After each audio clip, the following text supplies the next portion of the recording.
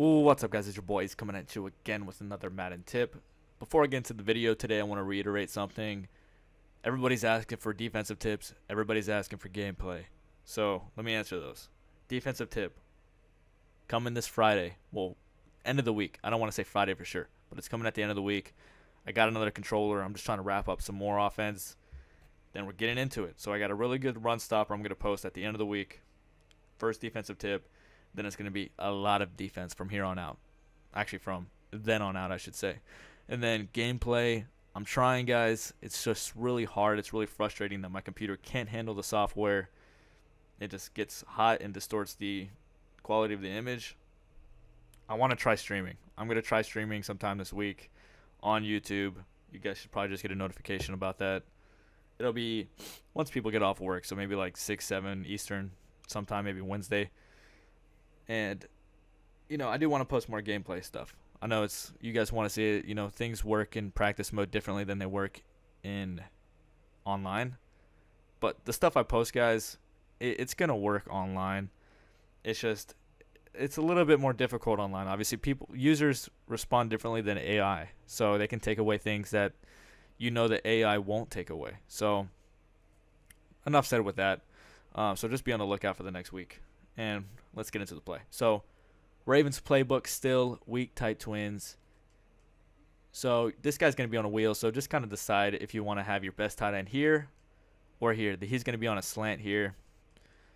You know, Kyle Juszczyk is good.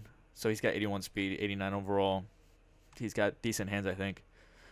So that's why I have him here. You can put your best tight end there if you want, or you can put him here. Just make sure this guy has decent speed, maybe above 77. So Let's get into it. PA cross F wheel. Random. Put A on a slant. Should look just like that. And then we're going to cancel the play action as soon as the ball is about to be faked to the running back. So just like this. Man coverage is going to get beat every time. Zone coverage, a little bit more tricky. Something's going to get open though. So your progressions are this. I like to read RB first, then A, and then X.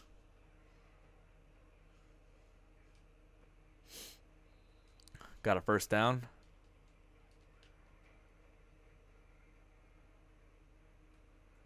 Okay, so this is important. This is a play where it's like, I think it's Tampa 2, some kind of cover 2. And you're going to have a pick and choose over here. We're putting stress on this corner he's going to have to pick between the wheel and the slant. He picks the wheel, but I throw the wheel anyways. Bad decision. Almost comes down with it anyways.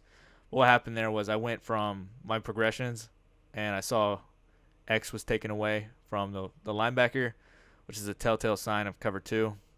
Should have just registered that in my brain and thrown the slant instead. So have that thought process, guys. Easy first down.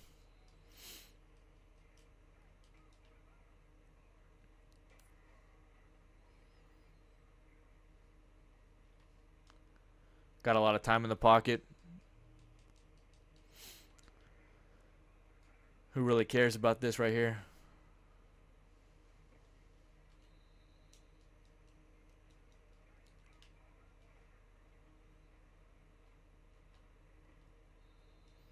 Possession catch, get down.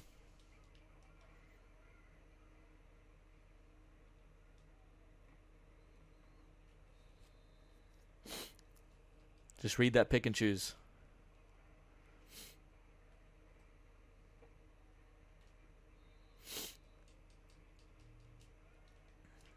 Again, goal line.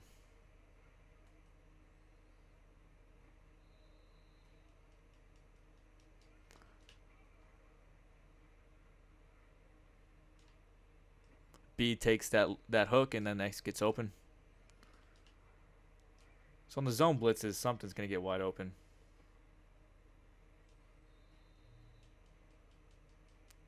Easy, simple play to run, guys. Not making a lot of changes. But it's going to be a great play for you. Just like I said earlier, it's different in practice than it is against users. But this play, this concept in general, is used to put stress on the defense.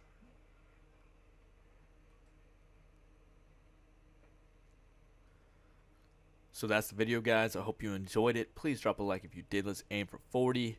And as always, if you enjoyed daily Madden tips, please hit the sub button. Appreciate it, guys.